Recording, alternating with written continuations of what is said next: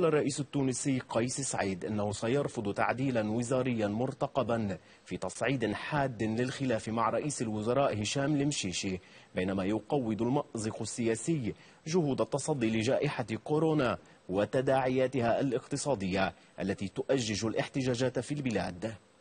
إلى ذلك ذكرت وسائل إعلام رسمية أن محتجا تونسيا أصيب خلال اشتباكات مع الشرطة. توفي في المستشفى مما أطلق مواجهات عنيفة بين المتظاهرين وأجهزة الأمن, وأجهزة الأمن. وأضافت المصادر أنه بعد زيوع نبأ الوفاة حاولت مجموعة من الشباب اقتحام مركز الشرطة مما أفضى إلى مزيد من الاشتباكات. ولمزيد من المعطيات حول آخر التطورات التونسية ينضم إلينا من تونس مراسلنا وسام دعاسي صباح الخير وسام. صباح الخير محمد لك ولكافة الزملاء ومشاهدي برنامج صباح النور. وسام كيف يبدو المشهد على الأرض بعد مقتل المتظاهر هيكل الراشدي وتجدد وتيرة الاحتجاجات خصوصا هناك تظاهر أو دعوة لتظاهرة لسكان حي التضامن ستتوجه اليوم إلى البرلمان؟ نعم محمد ليلى صاخبة عاشت على وقعها مدينة سبيتلا بمحافظة القصرين بعد مقتل أو وفاة أحد المتظاهرين. هناك روايات متضاربة عن أسباب هذا الوفاة. هناك من يقول أصيب على خلفية إطلاق الشرطة لقنابل الغاز المسيل للدموع. وهناك من يتحدث عن ما دون ذلك يتحدث عن وفاة مسترابة ليست بسبب التظاهر. لكن هذه الحادثة في كل الأحوال يعني أدت إلى اندلاع مواجهات البارحة مع قوات الشرطة ومع ما بين المحتجين في هذه المدينة في التي تقع في وسط غربي تونس. هذه الحادثة تأتي في ظل وضع اجتماعي متوتر في ظل احتجاجات اجتماعية أخذت طابعا عنيفا في الآونة الأخيرة. هناك دعوة اليوم للتظاهر والاحتجاج هنا في العاصمة لأهالي منطقة حي تضامن وهي وهو حي شعبي يقع بضواحي العاصمة.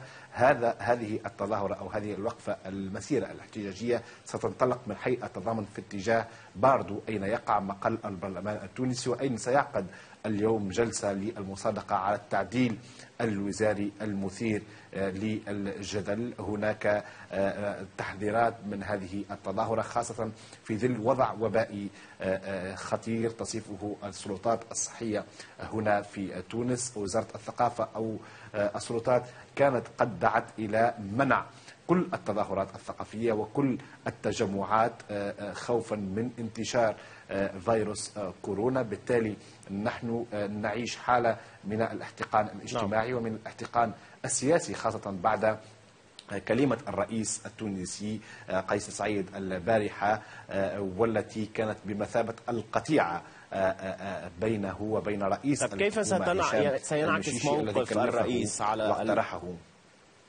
كيف سينعكس موقف الرئيس قيس سعيد على الأجواء السياسية والشعبية المحتقنة في البلاد؟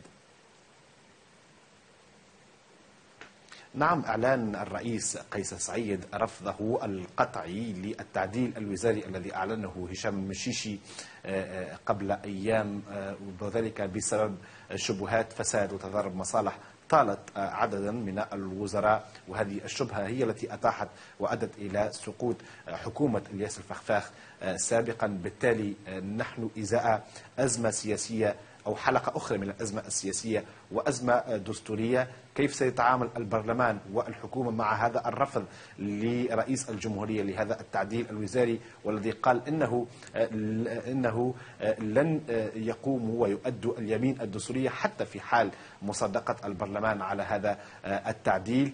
الحكومة ماضية على ما يبدو اليوم إلى جلسة جلسة برلمانية لنيل الثقة للوزراء الجدد. رغم رفض رئيس الجمهورية بالتالي نحن إزاء أزمة دستورية. هناك من يقول أن الأداء اليمين الدستورية هو أمر ضروري وبدونه قد يبطل تبطل العملية برمتها هناك من يقول أن هذا اليمين الدستورية هي أمر شكلي وبروتوكولي وبالتالي الثقة الوحيدة التي يمنحها هو البرلمان. بالتالي قد نشهد سابقة لأول مرة تحدث في تونس وزراء جدد سيصادق عليهم البرلمان نعم. اليوم لن يؤدوا اليمين أو القسم الدستوري وبالتالي سنعيش أزمة دستورية في ظل غياب محكمة دستورية المخولة قانونا للنظر في هذه النزاعات وفي غياب نص دستوري واضح نعم. يوضح طبيعة القسم الدستوري وما مدى ضرورته ووجهته وسام دعاسي مراسل التلفزيون العربي في تونس. شكرا جزيلا لك.